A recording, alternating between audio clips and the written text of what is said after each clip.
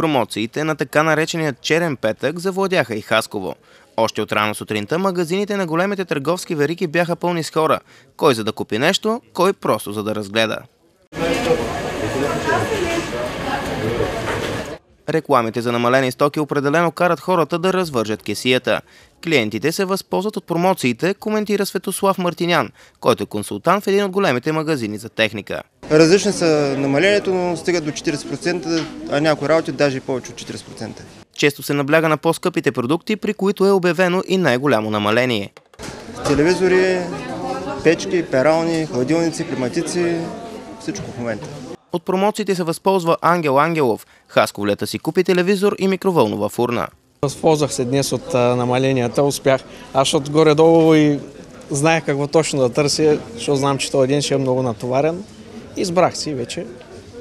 Съм оборудван, както се казва. Сред пазаруващите днес бяха Никола и Мина Петрови. Семейството закупи три телевизора, с които да оборудва малкия си хотел в Несебър. Впечатлението им бе, че отстъпката за някои продукти не е чак толкова голяма.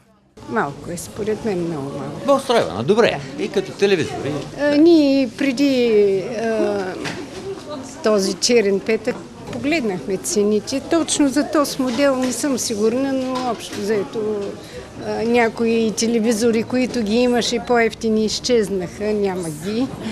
Заради промоциите днес паркингите на някои хипермаркети се оказаха недостатъчни, за да поберат всички автомобили. Това пък накарало някои шофьори да спрат край пътя. Тези, които искаха да избегнат задръстванията и блъсканиците в магазините, можеха да пазаруват онлайн. И при този тип търговия имаше проблеми.